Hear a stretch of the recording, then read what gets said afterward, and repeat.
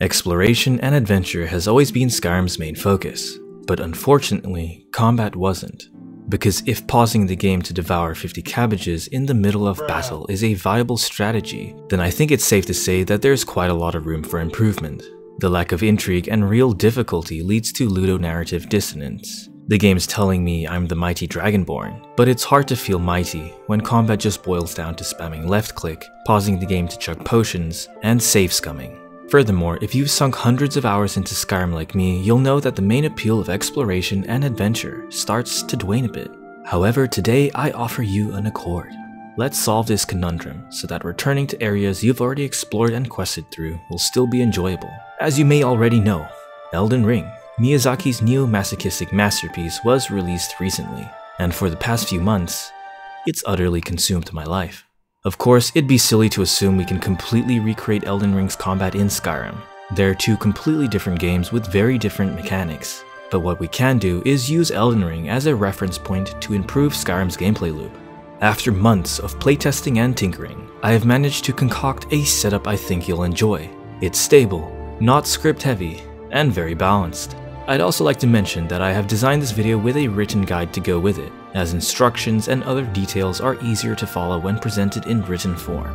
In the guide, I'll also cover some extra mods that you might be interested in. Most mods in this setup are compatible with Anniversary Edition, but there will be a few that are not. Unfortunately, some modders are still suffering, porting Special Edition mods to Anniversary Edition, because I mean, how could we ever ignore the drastic performance benefits AE brings? I built this setup with SE in mind, but if you are an AE user, I'll try to provide alternatives to incompatible mods in my written guide. This video is mainly meant to showcase my setup, explain my philosophy, and cover what each mod in my setup does. So if you have any questions regarding installation, requirements, MCM settings, or AE compatibility, please consult my written guide. Alright, Without further ado, let's begin. Skyrim. Get, up. In order to fully overhaul combat, we're going to need MCO ADXP, a combat animation framework that bypasses the animation wall, allowing for weapon movesets that have commitment like in Elden Ring. These movesets are essential for implementing the weapon identity and weapon variation that Souls games are known for. For those who aren't familiar, ADXP is the successor to the renowned SkySafe framework and fixes many of its issues while providing new features. By default, ADXP comes with Mike Nike's Elder Souls collection already built in, so you won't have to worry about installing other movesets. Both the framework and animations are already provided. Human enemies will also be overhauled to use these movesets, so with ADXP, you can expect to see way more variety when fighting said enemies. However, for those who are interested in replacing certain weapon movesets with other ones made by other animators, please refer to the written guide. Also, make sure to install Disable Recoil, because now that we've got moveset combos, we'll need this to be able to chain combos when attacks are blocked. However, with such a revolutionary animation framework implemented into our game, we're going to need to overhaul enemy AI to fully take advantage of it. Enemies weren't designed to have movesets in vanilla, so if you play with ADXP alone, humanoid enemies will just attack with one animation at a time. But in order to make enemies perform MCO moveset combos, I'm going to recommend an early access mod, Skyrim Combo Attack Revolution. With Scar, NPCs no longer combo sporadically, leaving themselves open for no reason.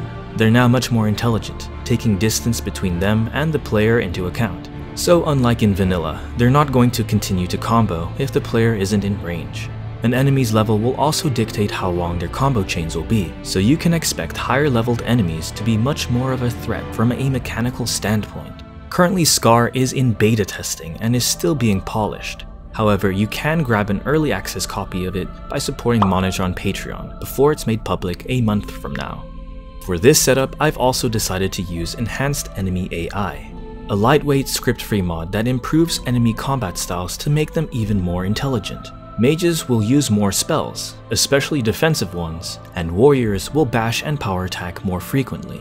Mages are difficult to deal with when they keep casting while moving away though, especially now considering that we have attack commitment in our setup. So to help balance enemy mages, grab enemy mage lock. With this, enemy mages stand still when casting.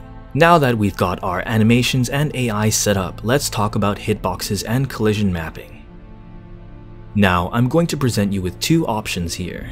Option 1 Speed and Reach Fixes plus Elder Souls Sweep Attacks. Speed and Reach Fixes adjusts the lengths of weapon hitboxes to match their models more closely. This won't be the most accurate as we're still relying on cone hitboxes, but it definitely helps to fix the ridiculous hitboxes the game currently has. And additionally, we can use Elder Souls Sweep Attacks to allow us to hit multiple enemies at once with one swing. Option 2 Precision, an early access mod. Precision is a mod still in the works. It aims to add actual tracing to melee weapons and creature attacks, thus giving the game extremely precise collision mapping. We're not relying on cones here, so you're able to get interesting interactions when it comes to animations and hitboxes, which is another important nuance from Souls titles. Also, you won't need Elder Soul sweep attacks if you use precision, as hitting multiple enemies at once will be enabled by default in its MCM, although precision is still being worked on. You can get early access to it by supporting Ersh on Patreon. However, being able to hit multiple enemies with a single attack, whether from Elder Soul sweep attacks or precision, can get a little frustrating when fighting alongside a follower. But thankfully, we are able to solve this problem by installing no follower attack collision. Now switching over to gameplay mods, we need true directional movement for improved movement, lock-on, HUD elements, and more. TDM also comes with a mod configuration menu, so you're able to tweak it to your heart's content. I won't spend much time covering TDM, as it does quite a lot, but I will mention that it will completely overhaul how you play the game in third person, and is crucial to making this setup play like Elden Ring. I decided to implement backstabs into the game by using ZX Slice, Backstab, and Parry. However, I did disable parrying in its INI so we only get backstabs.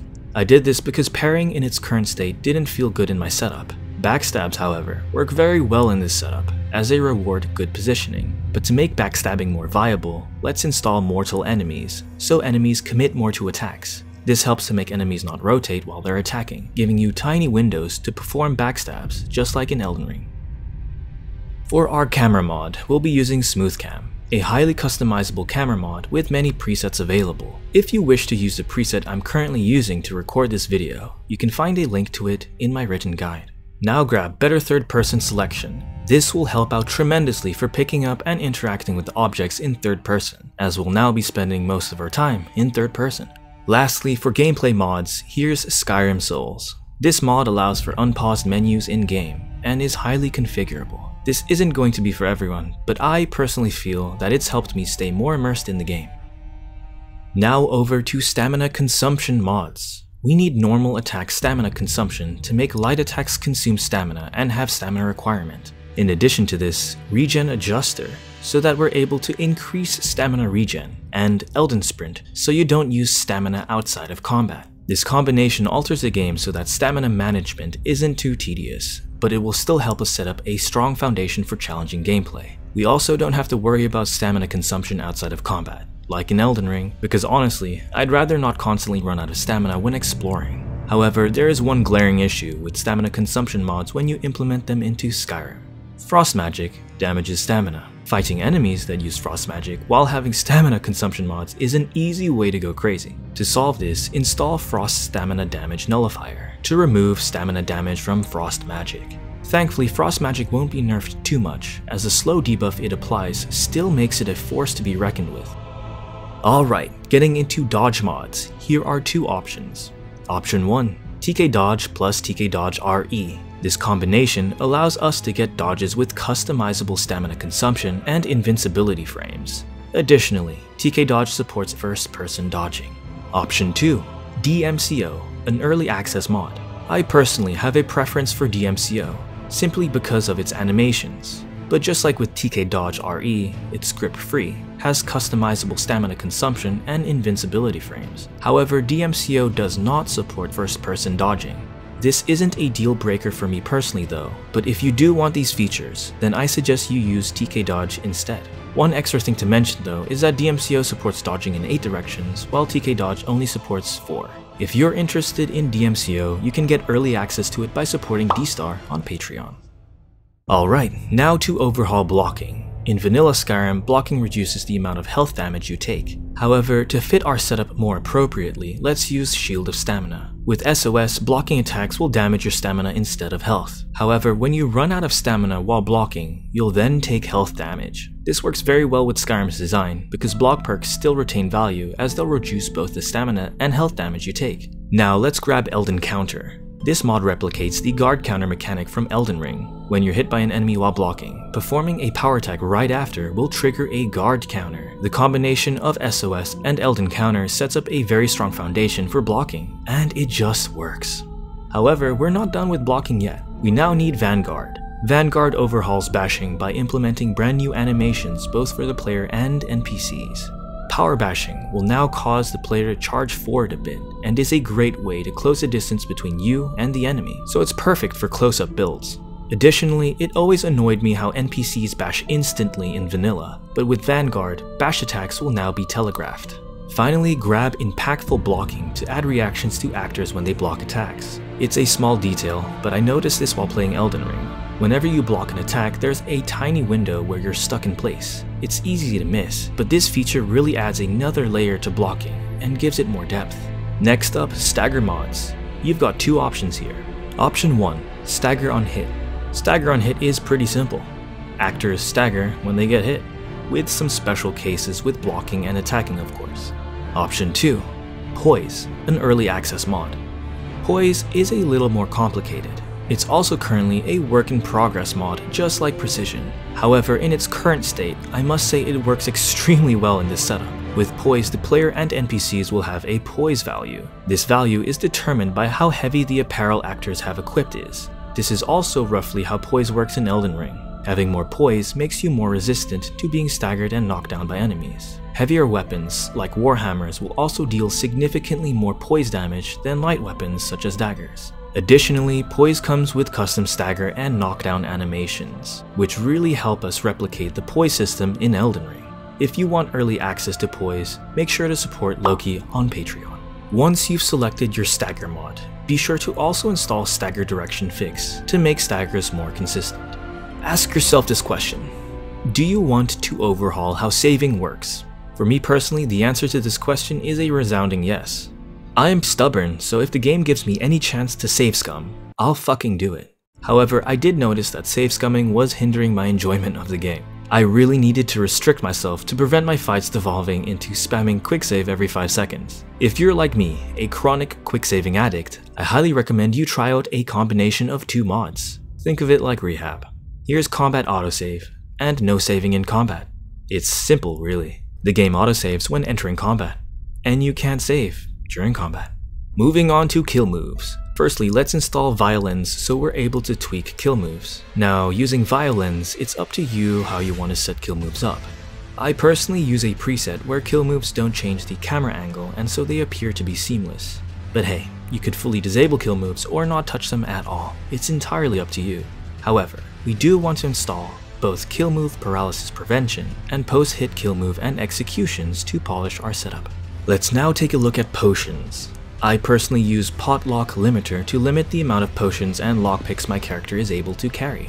Prior to installing Potlock Limiter, I used to carry around dozens of potions and lockpicks, and as a result, using them didn't feel very special. Only once I started limiting these resources did I actually start to give a fuck. With Potlock Limiter, every potion and every lockpick matters, and now you're actually incentivized to level up alchemy and lockpicking in order to make potions more potent, and lockpicks last longer. I've also balanced potions so you can't chug multiple of them at once, using Zupa. Also just like in Elden Ring, upon drinking a potion, your character will enter an animation, which has to fully play out before you can do anything else. Finally for potion mods, I recommend grabbing Smart Optimal Solves so you can bind a hotkey for consuming potions. This solves the issue of having to favorite multiple potions of differing quality. Alright, we've reached a point where our setup has a strong foundation, but to really put some icing on the cake, we'll need more balancing and some add-ons. Install no level up healing if you don't want to be able to cheese fights by leveling up in the middle of them. For projectiles, well, in vanilla Skyrim, they're simply too fast. You're just not going to be able to avoid them consistently. To make matters worse, there are even instant cast spells that are impossible to avoid. So let's install Projectiles MCO to slow projectiles down and fix bad game design. Furthermore, I've added resistances and weaknesses to my setup. Just like in Elden Ring, there are different damage types, and enemies will have different resistances to them. I enjoy this mod because it keeps things simple. It splits damage into 6 different types. For melee weapons, we have Slash, Piercing, and Bludgeoning. For magic, Fire, Frost, and Shock. Enemies will now be 50% more resistant and 50% more weak to certain damage types.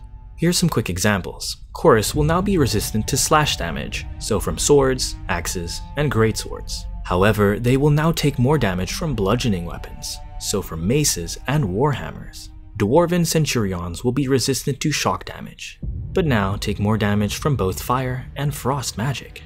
For me personally, this mod makes combat much more enjoyable, and there's a lot of fun to be had when you have to figure out what enemies are resistant and weak to. Now let's balance armor. In vanilla Skyrim, the armor rating system is fucking broken. Having an armor rating between 0 to 300 is pretty pointless. But the moment you have an armor rating of 300 to 600, every point suddenly becomes very valuable. However, any points above 667 will be rendered useless and capped off. To make matters even worse, there is actually a hidden armor rating that most people don't even know about. Every time you equip a piece of armor, you gain an additional 25 points of armor rating. However, this system starts to fall apart completely when you have armor mods that have more than the standard amount of pieces. To fix this, install Armor Rating Redux.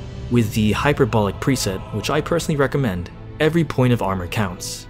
Kind of like in Morrowind, so early armor will protect you a lot more, while good armor past the cap will still be useful. It will also be much more difficult to reach insanely high protection values, and so this is a great way of balancing armor in my opinion.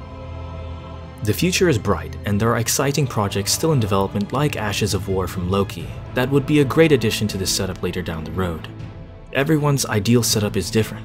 There will be aspects of my setup you might want or not want, and that's fine. Trying out different combinations and tinkering with setups takes time, but it really makes you appreciate game design, and is very rewarding in the long run. I'd also appreciate any feedback you may have, so please comment down below your thoughts or questions. I hope you enjoyed looking at how I set up my setup.